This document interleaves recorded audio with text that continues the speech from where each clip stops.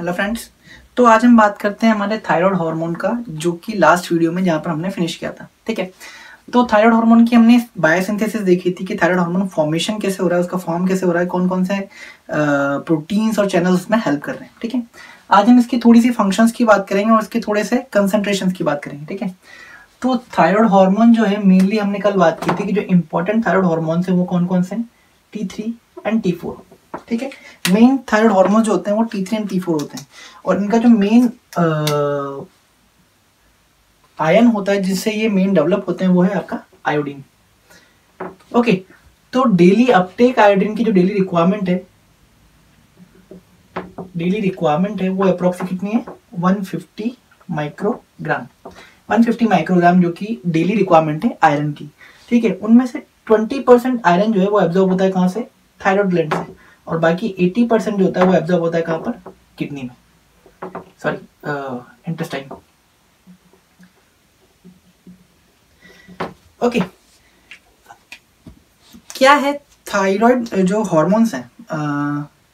वो mainly like plasma में present होते हैं और वो भी प्लाज्मा में जो प्रेजेंट होते हैं, वो हमेशा फ्री फॉर्म में नहीं प्रेजेंट होते हैं। वो बाइंड होते हैं। कुछ स्पेशल प्रोटीन्स होते हैं जिनसे ये हार्मोन बाइंड होते हैं। उसके बाद वो पूरी बॉडी में सर्कुलेट होते हैं। ठीक है? तो कौन से बाइंडिंग प्रोटीन है जो कि इन thyroid hormone T three and T four से बाइंड होते हैं? उनकी बात करते हैं। बाइंडिंग प्रोटीन्स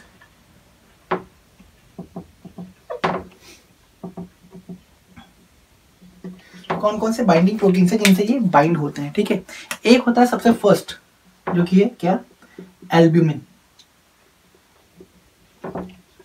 एल्ब्यूमिन एल्ब्यूमिन जो प्रोटीन है, उससे मैक्सिमम अमाउंट में बाइंड होते हैं क्या आपके? T three and T four और मैक्सिमम सबसे ज़्यादा हार्मोन जो बाइंड होता है वो कौन सा होता है? टी फोर ठीक है? मैक्सिमम कैपेसिटी जो है, जो भी बाइंडिंग प्रोटीन है दो तीन बाइंडिंग प्रोटीन है, उनमें अगर हम बात करें मैक्सिमम कैपेसिटी किसकी है बाइंड करने की, वो है एल्ब्यूमिन की. ठीक है? और अगर हम इसके टी हाफ़ की बात करें T half means half life of albumin means वो ब्लड में कितने दिन या कितने टाइम तक सर्कुलेट हो सकता है? एल्ब्यूमिन ब्लड में कितने टाइम तक सर्कुलेट होता है? ताकि उसी से पता पड़ता है कि आपकी टी फोर की भी कितनी कैपेसिटी हो सकती है, आपकी टी फोर की कितनी हाफ़ लाइफ हो सकती है। क्योंकि जितने टाइम तक एल्ब्यूमिन रोटेट हो सर्कुलेट होगा ब्लड के अंदर, उतने टाइम तक टी फोर से कनेक्टेड होगा। और जब हमें टी फोर की नीड है तो वो उसके साथ में डिटैच होगा और वो जहाँ पर भी उसको यूज़ करना हो, वहाँ पर यूज़ हो सकता है। ठीक है तो टी हाफ़ जो होता है, आपके एल्ब्यूमिन का होता है अप्रोक्सीमेटली थर्टीन डेज़ मीन्स एक एल्ब्यूमिन प्रोटीन ब्लड के अंदर थर्टीन डेज़ तक सर्कुलेट हो सकता है। ठीक है? Second binding protein that is TBP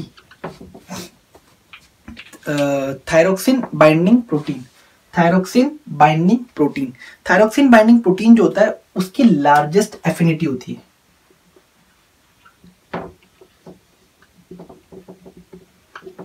ठीक है?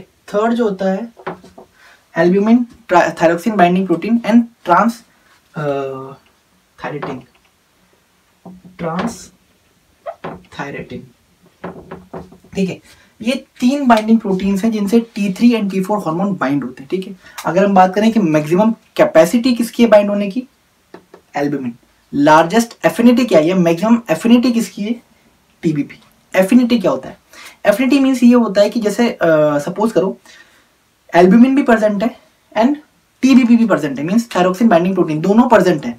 और T4 और T3 दोनों हार्मोन रिलीज़ हुए थायराइड ग्लैंड से, उनको बाइंड होना है। तो बाइंड का मीन्स होता है कि वो सबसे पहले किस प्रोटीन के साथ बाइंड होना पसंद करेंगे, ठीक है? मीन्स कौन सा ऐसा प्रोटीन है जिसकी लार्जेस्ट एफिनिटी जो उनको लार्जेस्टली अट्रैक्ट कर सकता है, वो कौन सा है?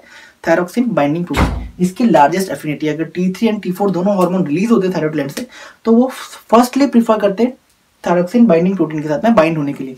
उसके बाद अगर थायरोक्सिन बाइंडिंग प्रोटीन अवेलेबल नहीं है तो वो एल्ब्यूमिन के पास जाता है। लेकिन लार्जेस्ट एफिनिटी जो होती है, वो किसकी होती है? थायरोक्सिन बाइंडिंग प्रोटीन की। मैक्सिमम कैपेसिटी किसकी है? एल्ब्यूमिन की। क्योंकि एल्ब्यूमिन जो है ब्लड के अंदर लार्जेस्ट क्वांटिटी में प्रेजेंट होते हैं। ठीक है? अब हम बात करें कि कौन सी ऐसी सिचुएशन है जिसमें बाइंडिंग प्रोटीन बढ़ सकते हैं और कौन सी ऐसी सिचुएशन है जिसमें बाइंडिंग प्रोटीन कम हो सकते हैं? तो ऐसी कौन सी सिचुएशन है जिसमें बाइंडिंग प्रोटीन बढ़ सकते हैं? ऐसी कौन सी सिचुएशन है जिसमें बाइंडिंग प्रोटीन कम हो सकते हैं? ठीक है। वो सभी फीमेल्स जो कि ईस्ट्रोजन का यूज़ करते हैं ज़्यादा। ईस्ट्रोजन पिल्स या oestrogen like oral contraceptive pills का जो यूज़ करती है, उनके अंदर बाइंडिंग प्रोटीन्स की कैपेसिटी बढ़ जाती है। और जैसे जैसे बाइंडिंग प्रोटीन की कैपेसिटी बढ़ जाएगी तो टी थ्री और टी फोर जो है, वो ज़्यादा बाइंड होना स्टार्ट कर देगा। एक ही ध्यान से याद रखो कि T three and T four जो है मैक्सिमम नाइन्टी नाइन परसेंट जब भी रिलीज़ होते हैं थायराइड ग्लैंड से वो बाइंड हो जाते हैं। 99 परसेंट हॉर्मोन जो होता है T three and T four वो बाइंड हो जाता है। ओनली अप्रोक्स वन परसेंट ही हॉर्मोन होता है T three and T four जो कि फ्री होता है। और वही फ्री हार्मोन एक्टिवली होता है। वही फ्री हार्मोन एक्टिव स्टेट में होता है मीन्स वही फ़ंक्शन करता है। जो ये नाइनटी नाइन परसेंट है, ये फंक्शनेबल नहीं होता। वो बाइंडिंग स्टेट में होता है। और बाइंडिंग स्टेट में कभी भी कोई भी हार्मोन फ़ंक्शन नहीं कर सकता है। ठीक है तो जब भी आप ईस्ट्रोजन पिल्स का यूज़ करते हैं ओरल कंट्रासेप्टिव ईस्ट्रोजन जो पिल्स होती है, उनका जब भी यूज़ होता है तो बाइंडिंग प्रोटीन कैपेसिटी बढ़ जाती है। और जब भी बाइंडिंग प्रोटीन बढ़ जाएँगे तो वो मैक्सिमम ये 99 जो परसेंट है, वो 99.5 परसेंट तक चला जाएगा। फ्री जो हार्मोन है, उनके लेवल्स कम हो जाएँगे। ठीक है ईस्ट्रोजन पिल्स या ओरल कंट्रासेप्टिव पिल्स और प्रेगनेंसी के टाइम पर ठीक है, ये दो कंडीशन है जिनमें ईस्ट्रोजन जिनमें इंक्रीज होता है किसका? बाइंडिंग प्रोटीन कैपेसिटी अगर हम बात करें कि ऐसी कौन सी सिचुएशन जिसमें बाइंडिंग प्रोटीन कैपेसिटी कम होती है, वो है आपके ग्लूकोकॉटिकॉइड्स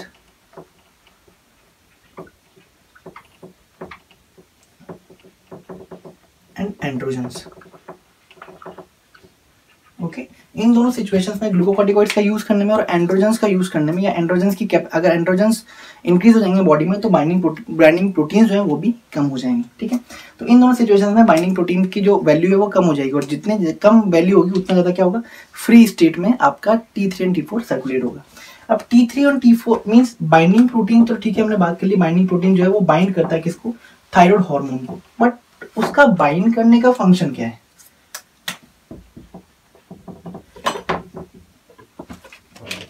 जो बाइंडिंग प्रोटीन है, उनका फ़ंक्शन क्या है?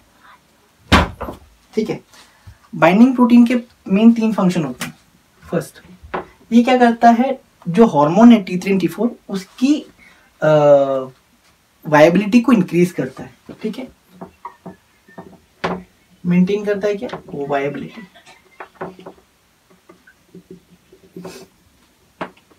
सेकेंड ये क्या करता है? इंक्रीज कर देता है चांसेस इंक्रीज करता है चांसेस एक्शन के। एक हार्मोन एक्शन के चांसेस को इंक्रीज कर देता है। और ये डिक्रीज करता है क्या? क्लियरेंस को। मींस जब तक टी थ्री हार्मोन बाइंडेड है T three and T four hormone bind होते हैं बाइंडिंग प्रोटीन से, तब तक वो वायबल स्टेट में, ठीक है? जैसे ही वो मीन्स उतने टाइम तक वो वाइबल होते हैं। लाइक एल्बुमिन की हमने क्या बात की थी? टी हाफ़ कैपेसिटी कितनी है उसकी? टी हाफ़ कैपेसिटी होती है थर्टीन डेज़ तक। मीन्स अगर thyroid gland T three and T four को रिलीज़ कर रहा है और वो एल्बुमिन तक एल्बुमिन पे पाइंट हो रखे मीन्स वो वर्क कर सकते हैं कब तक? थर्टीन टू फोर्टीन डेज़ तक वो वर्क कर सकते हैं। इसलिए उनकी वायबिलिटी क्या होती है? इंक्रीज होती है। अगर वो वायबल नहीं होंगे, अगर वो फ्री स्टेट में होंगे तो फ्री स्टेट में क्या होता है टी थ्री टी फोर जैसे वो सेल के पास जाएँगे एक्शन करेंगे और वो कंप्लीट हो जाएँगे फिनिश हो जाएँगे। लेकिन अगर वो प्रोटीन के साथ बाइंड होंगे तो उनकी वायबिलिटी इंक्रीज हो जाएगी। सेकंड उनके चांसेस ऑफ़ एक्शन भी इंक्रीज हो जाएँगे। लाइक like, अगर एक बार थायराइड हार्मोन रिलीज़ कर थायराइड ग्लैंड रिलीज़ करा थायराइड हार्मोन को और जो भी एक फ़ंक्शन उसको करना है उसने वो फ़ंक्शन पूरा कर लिया तो उसके बाद उसकी नेक्स्ट फ़ंक्शन करने के लिए थायराइड ग्लैंड को थायराइड ग्लैंड को मोर हार्मोन्स को सिक्रेट करना पड़ेगा। लेकिन अगर वो उसी से बाइंड हो जाए अगर वो प्रोटीन से बाइंड हो जाए तो उनके एक्शन करने के चांसेस बढ़ जाते हैं क्योंकि ऑलरेडी हार्मोन जो है वो ब्लड के अंदर प्रेजेंट है। थर्ड क्लियरेंस हार्मोन जब भी रिलीज़ होता है तो उसको जो फ़ंक्शन करना है, वो फ़ंक्शन करते हैं, ठीक है? उसके बाद उनका क्लियरेंस होता है बॉडी से, वो वेस्ट प्रोडक्ट्स में या फिर बॉडी में वो डिस्ट्रॉय होना स्टार्ट हो जाते हैं। लेकिन जब तक वो प्रोटीन के साथ बाइंड है, तब तक वो डिस्ट्रॉय नहीं हो सकते हैं। जब भी उनका यूज़ होगा, तब वो यूज़ होंगे प्रोटीन के साथ लाइक प्रोटीन से डिटैच होंगे और उसके बाद वो वर्क करेंगे। इस वजह से उनका क्या होता है क्लियरेंस जो लेवल है लाइक क्लियरेंस जो टाइम है, वो भी कम हो जाता है। जैसे ही हार्मोन रिलीज़ होता है, वो एक्शन करते हैं और उनके बाद उनका उनको क्लियर कर दिया जाता है। बॉडी से उनको एक्सक्रीट कर दिया जाता है। लेकिन अगर वो प्रोटीन के साथ बाइंड है तो उनकी क्लियरेंस कैपेसिटी जो है वो कम हो जाती है। वो मोर टाइम तक बॉडी के अंदर प्रेजेंट रह सकते हैं। ठीक है? तो ये कुछ स्पेशल फ़ंक्शन है जो कि binding process binding capacity binding proteins पे डिपेंड करता है। बाइंडिंग प्रोटीन्स क्या करते हैं? वायबिलिटी को इंक्रीज करते हैं। वो क्लियरेंस को डिक्रीज करते हैं। साथ साथ में वो चांस इंक्रीज करते हैं एक्शंस के। कौन कौन से बाइंडिंग प्रोटीन्स है? Albumin transthyretin and trans thyroxine binding proteins maximum capacity किसकी होती है? एल्बुमिन की। और मैक्सिमम एफिनिटी किसकी होती है? ट्रांस थायरोक्सिन बाइंडिंग प्रोटीन और थायरोक्सिन बाइंडिंग ग्लोबुलिन ठीक है? किन किन कंडीशंस में इंक्रीज हो सकता है? किन किन कंडीशन में डिक्रीज हो सकता है? ओके तो नेक्स्ट हम बात करते हैं T three and T four जो कि मेन हॉर्मोन्स हैं थायराइड ग्लैंड के। ठीक है? इनके हम कुछ डिफरेंसेस की बात करते हैं कि इनमें क्या क्या डिफरेंसेस है। कौन सा मोर एक्टिव हार्मोन है एंड कौन सा लेस एक्टिव हार्मोन है। ठीक है? तो हम कुछ स्पेशल कैरेक्टरिस्टिक्स की बात करते हैं, जिनकी बेसिस पे हम डिफरेंस करेंगे टी थ्री एंड टी को। सबसे पहले हाफ़ लाइफ मीन्स कौन कितने टाइम तक वायबल रहता है ब्लड के अंदर और सर्कुलेशन के अंदर। बाइंडिंग कैपेसिटी कौन किसके साथ ज़्यादा बाइंड करता है? कॉलॉइड मीन्स कॉलॉइड के अंदर कौन ज़्यादा प्रेजेंट होता है? पोटेंसी कौन सा हार्मोन मोर पोटेंट होता है? एक्शन किसका एक्शन फास्ट है, किसका एक्शन स्लो है? और binding to the nuclear receptors क्योंकि थायराइड हार्मोन जो है वो अकेले ऐसा हार्मोन है जो कि किससे बाइंड होते हैं? न्यूक्लियर रिसेप्टर्स सबसे पहले बात करते हैं हम हाफ़ लाइफ की। हाफ़ लाइफ जो है वो टी फोर की बहुत लॉन्ग होती है अप्रोक्सीमेटली सिक्स डेज़ मीन्स अगर ये ब्लड के अंदर सर्कुलेट होगा तो सिक्स डेज़ तक वायबल है। Free thyroid free free T four free T four जो है ब्लड के अंदर सिक्स डेज़ तक वायबल होता है। अगर ये प्रोटीन के साथ बाइंड है, इसकी बाइंडिंग बाइंडिंग मेनली किससे होता है ये? थायरोक्सिन थायरोक्सिन बाइंडिंग प्रोटीन उसकी भी हाफ़ लाइफ जो होती है वो approximately five to six days के आसपास ही होती है। मीन इसकी जो हाफ़ लाइफ है वो अप्रोक्सीमेटली कितनी है? सिक्स डेज़ वहीं अगर अपन फ्री टी थ्री की बात करें तो इसकी हाफ़ लाइफ जो होती है थ्री डेज़ तक होती है। अब, लेकिन अगर ये एल्बुमिन के साथ बाइंड होता है, इसकी मैक्सिमम बाइंडिंग कैपेसिटी किसके साथ है? एल्बुमिन के साथ। अगर ये एल्बुमिन के साथ बाइंड होता है तो थर्टीन डेज़ तक वायबल रह सकता है। लेकिन फ्री अगर हम बात करें तो कितने टाइम कितने टाइम तक वायबल है? ओनली थ्री डेज़ तक। कॉलोइड कंसंट्रेशन की बात करें, मैक्सिमम बाइंडिंग कैपेसिटी हमने देख ली, मैक्सिमम बाइंडिंग टी फोर जो किससे होता है? टीबीपी से मीन टायरोक्सिन बाइंडिंग प्रोटीन और वहीं टी थ्री किससे बाइंड होता है? एल्बुमिन से। इन कॉलोइड की अगर बात करें तो कॉलोइड हमने बात की थी, कॉलोइड जो है उसका फॉर्मेशन कहाँ पर होता है? एक्टिव एक्टिव फ़ेज़ में मीन्स एक्टिव पार्ट में, जो आपका like apical part sorry not active part apical part apical part में मैक्सिमम कॉलोइड का फॉर्मेशन होता है। कॉलोइड क्या है जिसमें T three T four thyroglobulin M I T and D I T ये सारा फॉर्मेशन प्रेजेंट होता है एक स्मॉल वैक्यूल्स के फॉर्म में हम क्या बोलते हैं? कॉलोइड तो कॉलोइड में मैक्सिमम प्रेजेंट मैक्सिमम कंसेंट्रेशन जो होती है किसकी होती है? टी फोर की अप्रोक्सीमेटली कितना? ट्वेंटी फाइव परसेंट वहीं अगर हम टी थ्री की बात करें उसका कंसेंट्रेशन जो है वो कॉलॉइड के अंदर बहुत कम होता है सेवन परसेंट पोटेंसी की बात करें पोटेंसी मीन्स कौन सा हार्मोन कितना पोटेंट है? पोटेंट मीन्स उसका एक्शन कितना लाइक uh, uh, कितना कितना पावरफुल एक्शन है। उसे हम बोलते हैं पोटेंसी अगर कोई भी सेल को कोई एक्शन करना है, वहीं पर T three and T four दोनों जाके रेगुलेट कर रहे हैं, दोनों ही हार्मोन उसको जाकर रेगुलेट कर रहे हैं तो कौन सा हार्मोन उसी एक्शन को सबसे ज़्यादा पावरफुली फॉलो कर सकता है? तो पोटेंसी वही वही चीज़ चेक करती है.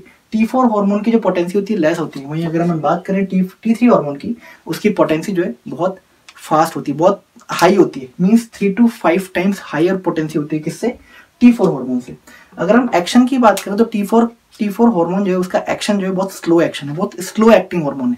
अगर उसको कोई एक्शन करना है तो वो बहुत टाइम लगाएगा उस एक्शन को रेगुलेट करने में। वहीं अगर हम टी थ्री की बात करें तो इसका एक्शन जो है बहुत रैपिड एक्शन है। बाइंडिंग कैपेसिटी की बात करें तो बाइंडिंग कैपेसिटी न्यूक्लियर रिसेप्टर्स के साथ जो बाइंड होते हैं टी फोर हार्मोन जो है बहुत लेस बाइंड होते हैं। वहीं अगर हम टी थ्री की बात करें, वो बहुत मोर बाउंड होते हैं। इसलिए टी फोर जो है वो सर्कुलेशन में बहुत ज़्यादा होता है। लेकिन एक्टिव फॉर्म जो होता है थायराइड हार्मोन का वो कौन सा है? टी थ्री हार्मोन अगर हम टी फोर हार्मोन की बात करें तो टी फोर हार्मोन जो है, वो क्या है? एक टाइप का प्रो हार्मोन है. प्रो हार्मोन टी थ्री का. मीन्स टी थ्री जो है मैक्सिमम एक्टिव फॉर्म है. टी थ्री ही मैक्सिमम फ़ंक्शंस करता है. टी फोर हार्मोन जो है, वो प्रो हार्मोन है. प्रो हार्मोन मीन्स जब भी टी थ्री हार्मोन फिनिश हो जाएगा, जब भी टी थ्री हार्मोन कंप्लीट हो जाएगा या डिस्ट्रॉय हो जाएगा या उसके फ़ंक्शंस कंप्लीट हो जाएँगे, लेकिन बॉडी को फिर भी नहीं रहे कोई ना कोई एक्शन करने की। तो टी फोर हार्मोन क्या होगा? टी थ्री हार्मोन में कन्वर्ट होगा, ताकि वो जो और फ़ंक्शंस जो उसको और फॉलो करने उनको वो रेगुलेट कर सके। इसलिए हमने टी फोर हार्मोन को क्या बोला? प्रो हार्मोन मीन्स वो हार्मोन जो टी फोर हार्मोन है, वो कन्वर्ट हो सकता है किसमें? टी थ्री हार्मोन में, और एक्स्ट्रा फ़ंक्शंस को रेगुलेट करने के लिए। इसीलिए टी फोर हार्मोन को क्या बोलते हैं? प्रो हार्मोन मैक्सिमम कैपेसिटी किसकी प्रेजेंट होती है? पूरे ब्लड के अंदर टी फोर हार्मोन की। लेकिन एक्टिव स्टेट में कौन प्रेजेंट होता है? टी थ्री हार्मोन और ये इसकी इंपॉर्टेंट टेबल है। इंपॉर्टेंट है, बहुत इंपॉर्टेंट ओके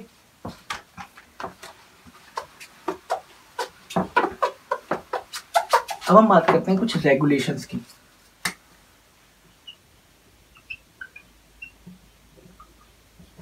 रेगुलेशन में सबसे पहला जो रेगुलेशन होता है, वो कौन सा?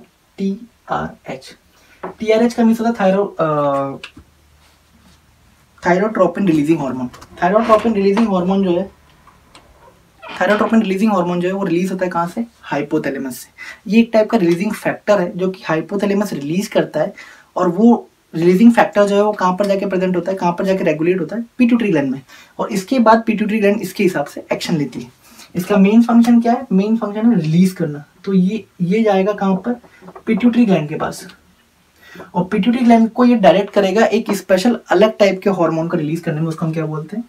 T S H thyroid stimulating hormone thyroid stimulating hormone thyroid means thyroid gland को स्टिमुलेट करेगा। ये हार्मोन जो है कहाँ से रिलीज़ होगा? पिट्यूटरी ग्लैंड से। और ये क्या काम करेगा? जो थायरॉयड ग्लैंड है, उसको ये स्टिमुलेट करेगा। उसका इसका फ़ंक्शन क्या है? उसको ये स्टिमुलेट करेगा। ये हार्मोन जो होता है वो टू सब यूनिट से बना होता है अल्फ़ा एंड बीटा और इसका जो स्ट्रक्चर जो है वो दूसरे हार्मोन के साथ में सिमिलर है लाइक लुटनाइजिंग हार्मोन और एफएसएच हार्मोन उनसे इसका स्ट्रक्चर जो है बहुत सिमिलर होता है. अगर हम इसकी सीरम कंसंट्रेशन की बात करें मीन्स ये कितना प्रेजेंट होता है हमारे सीरम लेवल पे ब्लड लेवल पे तो point three to four point five micro international unit per litre इस कंसंट्रेशन में हमारी ब्लड के अंदर प्रेजेंट है। और अगर हम इसकी टी हाफ़ की बात करें मीन्स इसकी हाफ़ लाइफ कितनी होती है? एक बार ये पिट्यूटरी ग्लैंड से रिलीज़ होता है तो ये कितने टाइम तक ब्लड के अंदर सर्कुलेट करता है? That is sixty minutes one hour इसकी हाफ़ लाइफ होती है। वन आवर बाद ये डिस्ट्रॉय हो जाता है या फिनिश हो जाता है।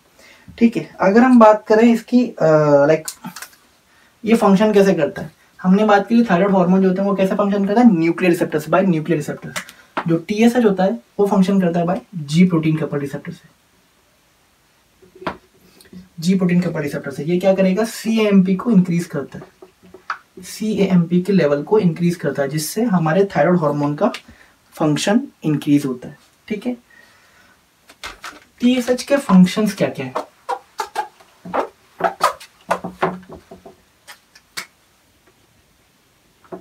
टीएसएच के फ़ंक्शंस क्या क्या है? टीएसएच के बहुत सारे फ़ंक्शंस होते हैं, ठीक है? सबसे पहला फ़ंक्शन ये थायराइड हार्मोन के सिंथेसिस को इंक्रीज करता है, ठीक है? टीएसएच का मेन काम क्या है? थायराइड ग्लैंड को स्टिमुलेट करना। अगर थायराइड ग्लैंड स्टिमुलेट होगी तो क्या रिलीज़ होगा? क्या सिंथेसिस होगा? थायराइड हार्मोन तो जितना ज़्यादा टीएसएच उतना ज़्यादा थायराइड हार्मोन का सिंथेसिस तो ये क्या करता है? थायराइड हार्मोन के सिंथेसिस को इंक्रीज करता है। सेकंड ये इंक्रीज करता है क्या? आयोडाइड ट्रैपिंग आयोडाइड ट्रैपिंग क्या होता है? लास्ट वीडियो में बात की थी कि जो सोडियम और आयोडाइड जो सिम्पोटर है, उनका मेन फ़ंक्शन क्या होता है कि वो आयोडीन को कंसंट्रेट करते हैं कंडेंस करते हैं, उसके बाद वो स्टोर करते हैं हमारे थायराइड फॉलिकल्स के अंदर। और कितना टाइम करते हैं? Approximately twenty to forty time वो कंडेंस करते हैं। ठीक है? ताकि बहुत लार्ज अमाउंट का आयोडीन बहुत स्मॉल प्लेस में, बहुत स्मॉल फॉलिकल्स में हमारे थायराइड ग्लैंड में स्टोर हो सके। और बहुत लार्ज अमाउंट का आयोडीन को जब बहुत स्मॉल अमाउंट में स्टोर करते हैं, उसको हम क्या बोलते हैं? आयोडाइड ट्रैपिंग हम बहुत सारे आयोडाइड को क्या कर रहे हैं? ट्रैप कर रहे हैं. बाँध रहे हैं हमारे कहाँ पर? थायराइड फॉलिकल्स के अंदर. इसलिए जितना ज़्यादा टी होता है, उतना ज़्यादा हम आयोडाइड की ट्रैपिंग कर सकते हैं. और इनके मेन क्या फ़ंक्शन है? ये इंक्रीज करता है किसका? थायरोग्लोबुलिन के सिंथेसिस को में भी इंक्रीज करता। है थायरोग्लोबुलिन क्या होता है? थायरोग्लोबुलिन एक ग्लाइकोप्रोटीन है जो कि बाइंड होगा किससे? आयोडीन से। उसके बाद हमारे फॉर्मेशन होगा किसका? हार्मोन्स का T three and T four hormones का। तो थायरोग्लोबुलिन के सिंथेसिस में भी ये, थायरोग्लोबुलिन का सिंथेसिस भी ये फास्ट करता है। फोर्थ ये कॉलॉइड का एंडोसाइटोसिस करता है। कॉलॉइड के एंडोसाइटोसिस में भी इसका मेन रोल है। हमने बात की थी कि सेल के बाहर की तरफ़ आपके कॉलॉइड का फॉर्मेशन होता है। ये जो पार्ट है इसको हम क्या बोलते हैं? एपिकल पार्ट और एपिकल पार्ट में कॉलॉइड के जितने भी हॉर्मोन्स हैं like T three T four M I D D I D ये फंक्शनेबल नहीं है। उनको फ़ंक्शन करने के लिए क्या होता है? सेल के अंदर एंटर करना पड़ता है। और सेल के जब भी ये अंदर एंटर करते हैं, उसमें कौन सा प्रोसेस से एंटर करते हैं? एंडोसाइटोसिस से। और एंडोसाइटोसिस में जो हॉर्मोन हेल्प करता है, उसको हम क्या बोलते हैं? TSH और जो प्रोटीन से ये एंटर होता है, जिस चैनल से एंटर होते हैं, उसका नाम क्या है? मेगालिन ठीक है? एक स्पेशल रिलेशन ये है कि कोल्ड सिचुएशंस में और हॉट सिचुएशन में मींस वार्म सिचुएशन में। कोल्ड सिचुएशन में टीएसएच का जो सिक्रीशन है टीएसएच लेवल का सिक्रेशन है, वो बढ़ जाता है। वहीं अगर हॉट सिचुएशन और वार्म सिचुएशन बात करें, उनका सिक्रेशन कम हो जाता है। तो ये कुछ स्पेसिफिक फीचर्स हैं टीएसएच के। टीएसएच क्या करता है? थायराइड हार्मोन के सिंथेसिस को इंक्रीज करता है। आयोडाइड के ट्रैपिंग को इंक्रीज करता है। थायरोग्लोबिन के सिंथेसिस को इंक्रीज करता है। कॉलोइड के एंडोसाइटोसिस में हेल्प करता है। और कोल्ड सिचुएशन में टीएसएच का सिंथेसिस बढ़ जाएगा। वहीं हॉट और वार्म सिचुएशन में टीएसएच का सिक्रेशन कम हो जाएगा। ये है रेगुलेशन किसका? टीएसएच का। टीआरएच की हमने बात करें। टीआरएच कहाँ से रिलीज़ होता है? हाइपोथैलेमस से। टीएसएच कहाँ रिलीज़ होता है आपके पिट्यूटरी ग्लैंड से। ओके तो अब हम बात करते हैं फ़ंक्शंस की। थायराइड हार्मोन के कौन कौन से फ़ंक्शंस होते हैं? सबसे पहले बात करें थायराइड हार्मोन जो है मेनली इंक्रीज करता है क्या? बेसल मेटाबॉलिक रेट बीएमआर को ये इंक्रीज करता है। बेसल मेटाबॉलिक रेट क्या होती है? जो कि हमारी मेटाबॉलिक कैपेसिटी होती है हमारी बॉडी की मेटाबॉलिक कैपेसिटी होती है। लाइक uh, uh, जितने भी एंजाइम रिएक्शन हमारी बॉडी के अंदर जो चल रही है लाइक डाइजेशन में एब्जॉर्प्शन में, उन सब की ही मेटाबॉलिक कैपेसिटी को, उन सब की रेटिंग कैपेसिटी को इंक्रीज करता है। तो थायराइड हार्मोन का मेन फ़ंक्शन क्या होता है? ये बेसल मेटाबॉलिक रेट को इंक्रीज करता है। सेकेंड थायराइड हार्मोन जो है थायराइड हार्मोन जो है, वो मेजर कैटाबॉलिक हार्मोन है। कैटाबॉलिक हार्मोन मीन्स क्या होता है? ये हर चीज़ का ब्रेक डाउन करता है। सबसे पहले बात करते हैं हम कार्ब्स की मीन्स कार्बोहाइड्रेट्स कार्बोहाइड्रेट की सिचुएशन में ये मेनली कैटाबॉलिक हार्मोन है मीन्स ये इंक्रीज करेगा किसको? ग्लाइकोलाइसिस को, जिससे क्या होगा? ग्लूकोज का फॉर्मेशन होगा। ये इंक्रीज करेगा ग्लूकोनियोजेनेसिस को। सॉरी ये एनहेंस करता है ग्लाइकोलाइसिस मीन्स ग्लाइकोलाइसिस को तोड़ने में एनहेंस करता है। ये एनहेंस करेगा किसको? ग्लूकोनियो जेनेसिस को इंक्रीज होगा ग्लूकोज कंसेंट्रेशन ये ग्लूकोज के अपटेक को भी इंक्रीज कर देगा। ठीक है? ये मेजर कैटाबॉलिक हार्मोन होता है। ये मेजर जो मेन मेन जो प्रोडक्ट्स होते हैं, उनको तोड़ता है और जो माइनर प्रोटीन से माइनर प्रोडक्ट्स हैं, उनका ये फॉर्मेशन करता है। लाइक ग्लूकोज लिपिड जो है वो हमारे फैट के स्टोर में प्रेजेंट होता है। हमें क्या चाहिए? फ्री फैटी एसिड तो उनको भी तोड़ने का काम करता है। तो ये क्या है? मेजर कैटाबॉलिक आया मेजर कैटाबॉलिक हार्मोन है। ये हर चीज़ को ब्रेक डाउन करने का काम करेगा। सेकेंडली हम बात करें लाइक लिपिड की।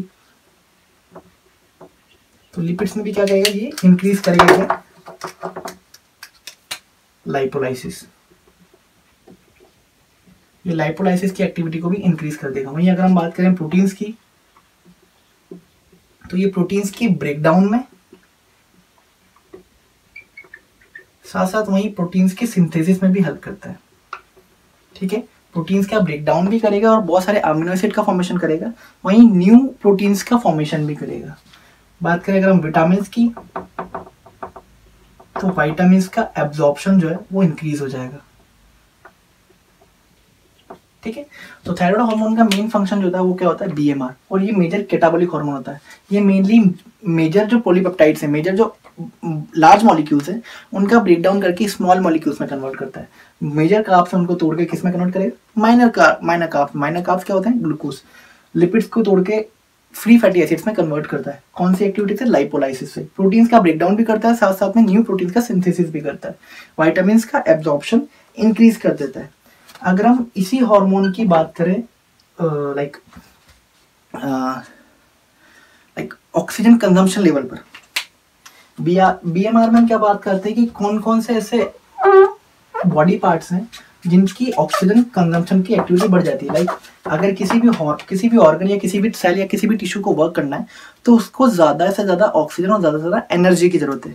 और बीएमआर में क्या होता है, हम बीएमआर में यही चेक करते हैं कि कौन से ऑर्गन या कौन सी सेल की ऑक्सीजन कंजम्पशन कैपेसिटी कितनी है। BMR is directly proportional to oxygen consumption. अगर किसी भी ऑर्गन की ऑर्गन की ऑक्सीजन कंजम्पशन कैपेसिटी ज़्यादा होगी, उस ऑर्गन या उस सेल की बीएमआर रेट जो है कि बहुत ज़्यादा होगी। तो थायराइड हार्मोन जो है वो सारे ऑर्गन्स पर इफ़ेक्ट डालता है। लेकिन सिर्फ़ कुछ ऐसे प्लेसेस हैं जहाँ पर थायराइड हार्मोन का फ़ंक्शंस लाइक उनके जो फ़ंक्शन है वो कोई रिलेट नहीं करते हैं। वो जो प्लेसेस हैं, वहाँ पर थायराइड हार्मोन जो है वो रेगुलेट नहीं कर सकता है। उन प्लेसेस का नाम क्या है?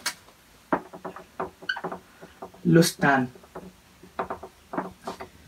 ठीक है, ये निमोनिक है, याद करने के लिए कि ऐसी कौन सी प्लेसेस है जहाँ पर ऑक्सीजन कंजम्पशन नहीं होता है। या बहुत माइनर क्वांटिटी में होता है, जहाँ पर बेसल मेटाबॉलिक रेट नॉर्मल होती है। वहाँ पर थायराइड ग्लैंड जो है वो अपना फ़ंक्शन नहीं कर सकता है। L for lymph nodes U for uterus okay lymph node uterus S for spleen lymph nodes, uterus, spleen, testis, t for testis, and a n for anterior, pituitary. ठीक है तो ये कुछ ऐसी प्लेसेस है जहाँ पर ऑक्सीजन कंजम्पशन जो है वो नॉर्मल रहता है, या फिर ये ऐसी प्लेसेस है जहाँ पर थायराइड हार्मोन का कोई फ़ंक्शन नहीं होता है। पूरी बॉडी में जितनी प्लेसेस है, वहाँ पर थायराइड ग्लॉन्ड का थायराइड हार्मोन का जो एक्शन है, वो हमेशा डायरेक्ट होता है एक्सेप्ट वन प्लेस वो है हार्ट हार्ट पर कभी भी थायराइड हार्मोन का जो एक्शन है, वो डायरेक्ट नहीं होता, वो इनडायरेक्टली होता है. वो क्या करता है थायराइड हार्मोन जो है, वो हार्ट वो हार्ट से रिलेटेड कैटाकोलामाइंस को इंक्रीज करते हैं. और वो कैटाकोलामाइंस डायरेक्टली एक्ट करते हैं किस पे? हार्ट पे, जिसकी वजह से हमें हार्ट में जो इंक्रीजेस चांसेस है लाइक हार्ट रेट इंक्रीज होती है स्ट्रोक वॉल्यूम इंक्रीज होता है कार्डिक आउटपुट इंक्रीज होता है. जब भी थायराइड हार्मोन इंक्रीज होते हैं तो heart rate cardiac output stroke volume में सब इंक्रीज होता है। लेकिन वो डायरेक्टली इंक्रीज नहीं होता है। थायराइड हार्मोन किसको सिंथेसिस करता है सबसे पहले? कैटाकोलामाइंस को। वो कैटाकोलामाइंस एक्ट करते हैं किस पर? हार्ट पर, जिसकी वजह से हमें सारी की सारी चीज़ें इंक्रीज होती हुई दिखती है। तो ये कुछ फ़ंक्शन हैं थायराइड ग्लैंड के। थायराइड ग्लैंड मेनली क्या है? BMR main most important function जो है वो क्या है?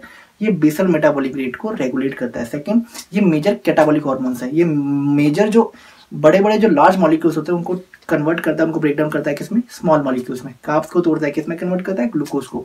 लिपिड्स को तोड़ता है किसमें कन्वर्ट करता है? फ्री फैटी एसिड में। प्रोटीन का ब्रेक डाउन करता है किसमें किसमें कन्वर्ट करता है? अमीनो एसिड्स में। विटामिन के एब्जॉर्प्शन को इंक्रीज करता है। हार्ट पर ये डायरेक्टली इफ़ेक्ट नहीं करता इनडायरेक्टली इफ़ेक्ट करता है। सबसे पहले कैटाकोलामाइंस को सिंथेसिस करेगा और वो कैटाकोलामाइंस डायरेक्टली इफ़ेक्ट करेंगे इस पर हर्ट पर, जिससे आपको कार्डिक आउटपुट स्ट्रोक वॉल्यूम और हार्ट रेट ये सब इंक्रीज होता हुआ दिखेगा। तो ये है आपका थायराइड हार्मोन Thank you.